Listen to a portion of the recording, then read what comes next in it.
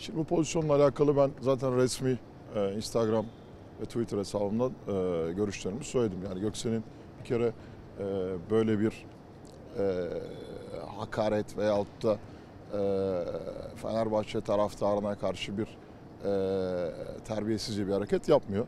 E, sadece e, birçok maçta bunu kendi sahamızda da yapıyor. Basket attıktan sonra özellikle üçlük attıktan sonra e, elleriyle üç işaret yapıp seyirciye dönüyor. Burada da o bir refleks olarak e, onu yapmış durumda. Burada e, esas e, yani bu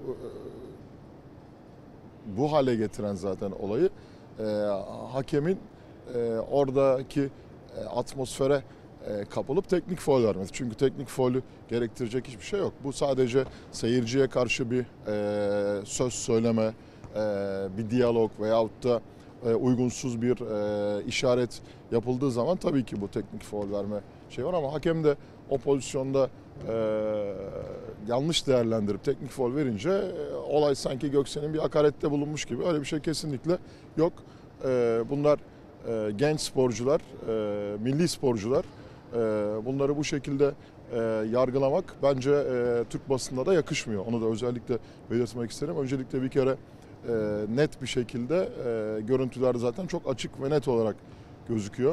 E, burada e, polemik yaratmak değil, bence e, ortada hiçbir şey yokken olayı bu hale e, getirmemek gerekiyor. O açıdan e, biz sonuna kadar da e, oyuncumuza, e, oyuncumuzun arkasındayız.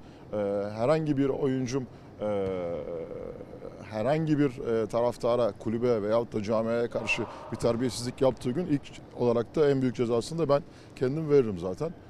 E, şimdi e, biz bu maçı kapattık, iyi mücadele ettik ama kaybettik.